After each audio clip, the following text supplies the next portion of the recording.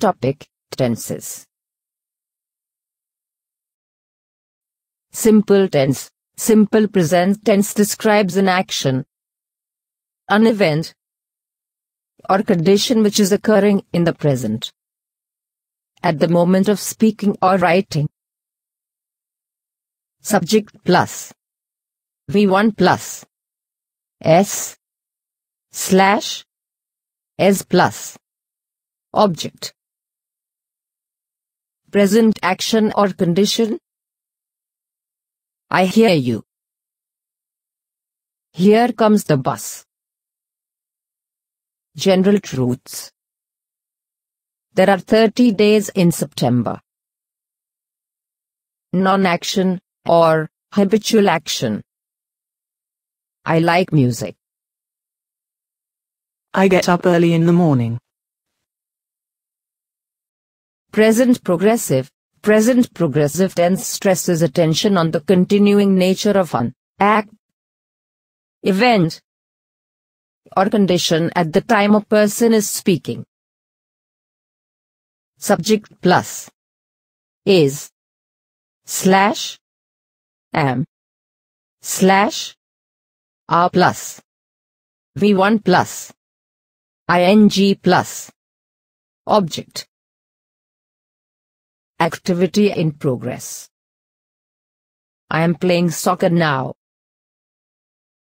Verbs of perception. He is feeling sad. Present perfect. To describe the action that began in the past and continues into the present, or has just been completed at the moment of utterance.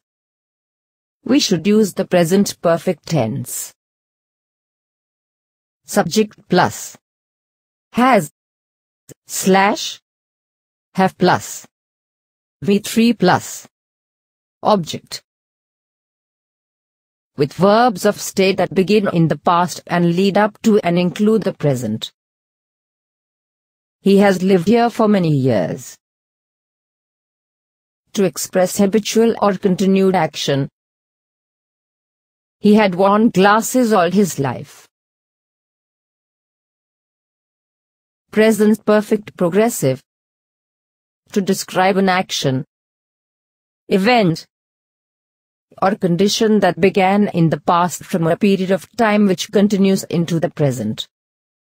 We should use the present perfect progressive.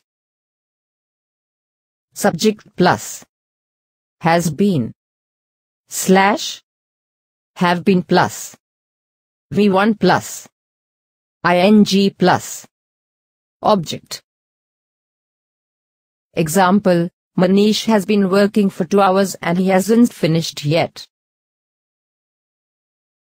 Simple past.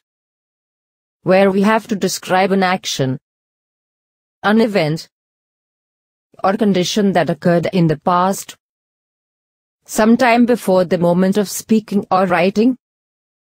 We should use the simple past. Subject plus.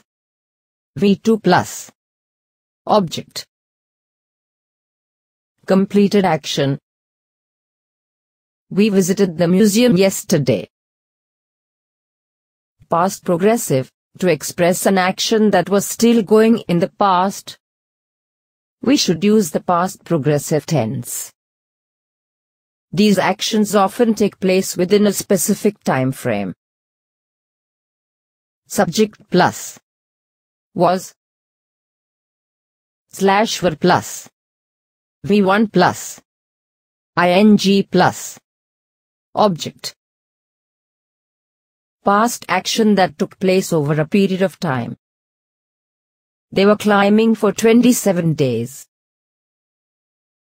Past perfect the past perfect tense is used to indicate actions that took place and were completed in the past the past perfect is often used to emphasize that one action, event or condition which ended before another past action, event or condition began. To describe a past event or condition completed before another event in the past. When I arrived home, He had already called.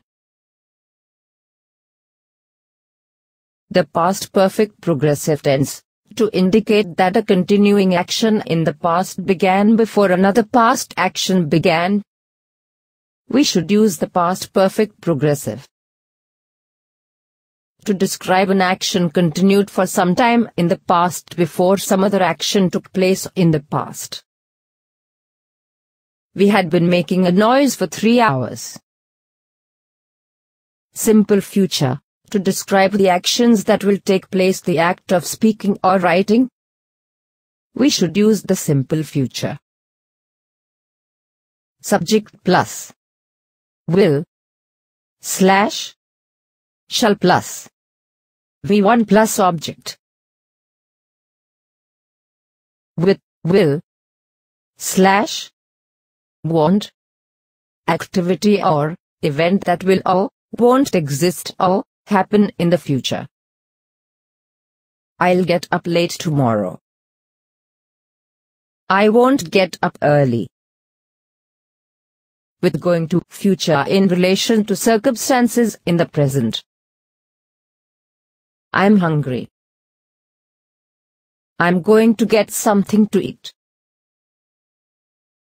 The future progressive tense is the future progressive is used to refer to continuing action that will occur in the future or ongoing in the future. Subject plus will slash shall plus be plus v1 plus ing plus object